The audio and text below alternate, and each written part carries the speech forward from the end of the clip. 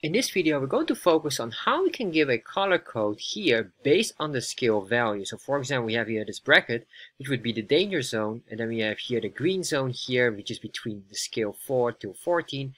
And finally here, the lowest part here, which would be like a warning area from 0 to 4. So let's start to explore how to do this. So let's start to look how to add the background color on the canvas based on the scale values in Chart.js. So the first thing what we need is we need to get our default code which you can find on chartjs3.com getting started. And this link you can also find in the description box. Scroll down and just copy this entire chunk of code here. Once you did that, and if you want to understand what this code does, make sure you watch this video here that explains it all. So I'm going to paste this all in there, and then we'll cut out this title and put it in here.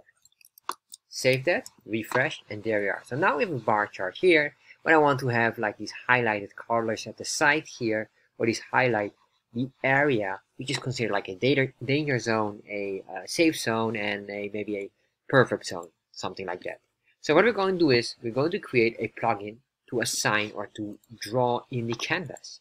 I'm going to scroll down here and then I'm going to say in the options here, put a comma, say your plugins, and then I'm going to give it a plugin name. And in this case, the plugin will be canvas background color. Nothing fancy, just very descriptive. Why? Because it's easy to understand what it is. So we're going to copy this, and then I'm going to put in here now a this. I'll just put in text, like we'll call this the plugin block, and I'm going to say a constant. The canvas background color equals, and then I'm going to say your ID, and I'm going to put in that. And although we won't be using it, this is just an additional, and then I'm going to consider when are we going to draw these background colors? Do we want to have these lines first or do we want to have the background color first and afterwards the lines? So in my case, I want to make sure that the background color is at the back of the lines, meaning that we draw the background color first, then the grid lines, and then the bars of our chart.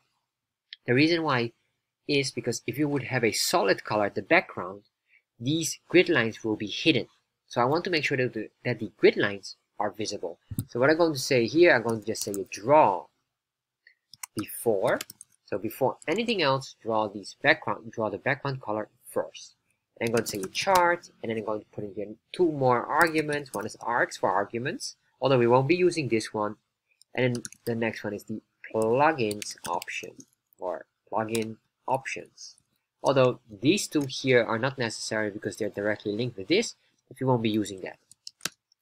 So then what I'm going to do here is I'm going to grab this item here and we are going to use what we call a object destructuring. These three are all objects. However, we're going to focus only on this one here. If I do a console log, you will instantly see what these objects are. If I save here, refresh, open up developer tab, and you can see here if I hover, oh, did I do something or is something not working? Let's save this again, refresh, Alright, that's interesting. Something doesn't work. Just a minute. Alright, my bad. I made a mistake here. It's not draw before, it's exactly the opposite. I should know that. Anyway, it's before drawing anything else. So if I save this now and refresh, there we are, we have now our desired object. So we're going to see here, and basically what I need here is, for example, the CTX, which is, if I click on this and you can see if I hover over this here, pinpoints this specific canvas with the ID of my chart, which is correct because that is the ID name. And then next what I need here as well would be, uh, we can probably use here the chart area, which is this one here, where we get the pixel coordinates of our chart area. And again, if you want to understand this, I highly, highly recommend you, like in many other videos, to watch my understanding the chart area video. This is very powerful tool to understand. So we're going to use this and then as well the scales where we have the x and y scales, but probably we'll only use the y scale because we only have these values that we want to convert into pixels. So let's start with this. Alright, so I'm going to say here, constant, and I'm going to say here, curly braces equals chart, because this is an object destructuring. So instead of what we did here, where we had to go from chart to ctx, no, like that.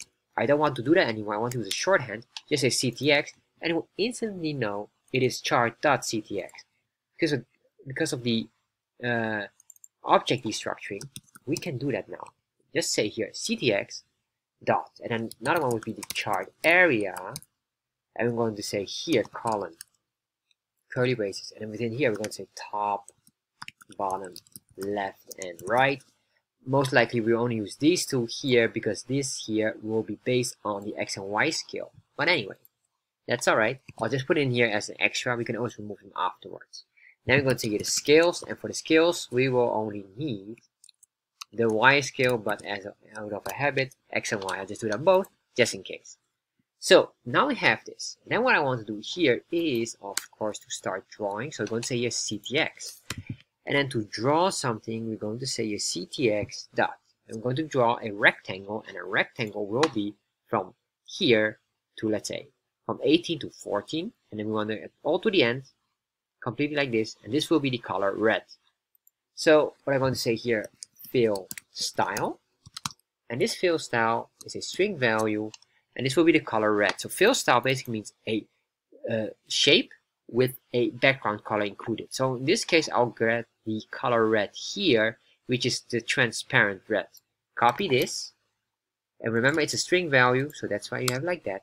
There we are. The next one is ctx dot, and then we're going to check here is the fill rectangle. Basically here, we're going to draw the rectangle, and we're going to use here what we say here. This is the left is the starting point, and then you have the top, so the left and top coordinates.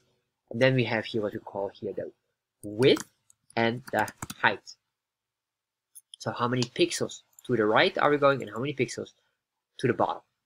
So for example, in our case, we want to have here to here. So let's get here the left or the, the, the both of these sides here. So the left and right side. So basically we could say here even, I realize we should have here the width that will be alright. Uh, that will be useful for us now.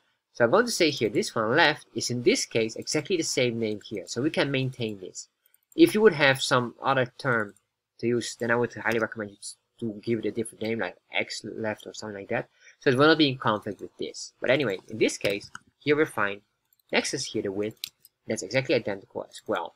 But right now for this, I'll just say here 100, and then going to say the height would be 25. If I save this now and refresh, you can see here we get now the full width from left to right, and then we have 100, or at least this is 100, and then 25 pixels going down.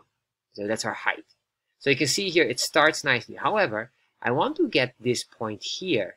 So luckily, Chart.js has a item here, and that's why we have the Y scale here. They have a special command which starts with Y, and then say dot, and I'm going to say here get pixel for value and this value will be number 18 so if I do this and save this now refresh you can see here it jumps up and there we are alright so if we do this then you might say alright you probably have to just do the same here and then say only 14 for example save that refresh and then you will see we get an, we get something that we don't want what is going on here well, basically what we get is the pixel coordinate. And remember, this item is supposed to be the width, or sorry, the height. And the pixel coordinate would be from here and here. We will calculate how much is these pixel coordinates. And that's not what we want. So that's why we have to now solve this tiny issue here. Basically what we need to understand is the difference between this here. So that's what we're going to do now. So we're going to say here, what we want is, we're going to grab this, and then what I'm going to say here is copy that, put in here, and then minus that. So if I save this, refresh, oh, alright, so that's not what I wanted, sorry.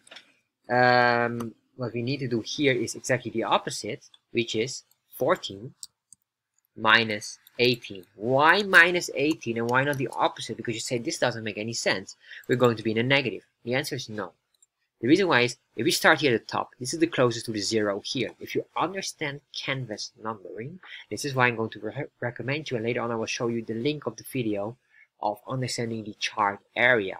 This is zero, or at least the higher we go here, up is zero, and the more lower we go, we increase in pixels. So exactly the opposite logic is going to use here. The lower we go down, so number 14 has a higher amount of pixels compared to number 18. So this is the reason why we do exactly the opposite. So if I do this here now, now we get exactly the item we desire. Alright, so now we have this, and you can say here, alright, to make the other items would be just to duplicate this. Well, we can be a bit more uh, concise with our code, so that's what we're going to do here. I'm going to say a function. So we're going to create a function, and we can loop through this function multiple times.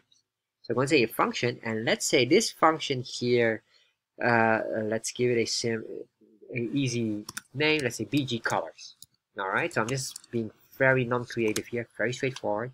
And then what I want to do here is I want to grab all of this code, put it in here, give it a proper indentation here. And then what we're going to do here is start giving it uh, a proper value as well. So let's say here, I'm going to say bracket low, comma, bracket high, and then finally a color. So we have a color, and you can see basically these, these, and these two here needs to be adjusted. So what I'm going to do now is I'm going to trigger this function by saying bg colors.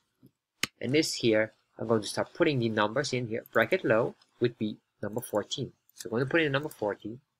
And then I'm going to say a comma, number 18. And then finally, comma, color will be this string value here. I'm going to cut out this here color. And then what I'm going to do now is bracket low, put it in here, bracket high, put it in there, and here. Save, refresh, there we are. So now we have the first one, and then of course we can now duplicate this. And let's start to work on all of them. So the next one would be, uh, we have the red, and then I guess we have here maybe, the, let's say the center is the green color. So the green color is the fourth one here. I'm going to copy this. It will be the center. And then the center should be everything from 4 up to number 14. And then finally, we're going to grab here the yellow color, which is this color here. That's the third one. Copy that. Put it in here. And then we say here 0 to 4. Save this. Refresh. There we are. So now we have here the green color, the red color, and the yellow color at the bottom. What we could do here as well, just for, for the sake of it, we're going to say ctx restore to remove all default values. Save that. And then here maybe ctx.save to save all these upper values that we might need. Refresh here and there we are. And now we have our background color like this. And if you want to make it a solid color, you will see that it will still show grid lines.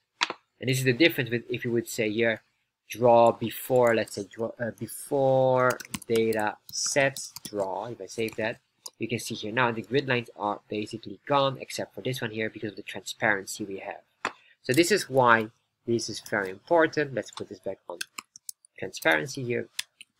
Save that and there we are. So if you enjoyed this video and you have now a full understanding of how to do this, maybe you want to know really deeper into the chart area. This is extremely or really crucial to understand. So I'm going to recommend you this video here on understanding the chart area in Chart.js, which will help you even more in understanding how to do the Y scale and the X scale and everything regarding to the meaning of the chart area.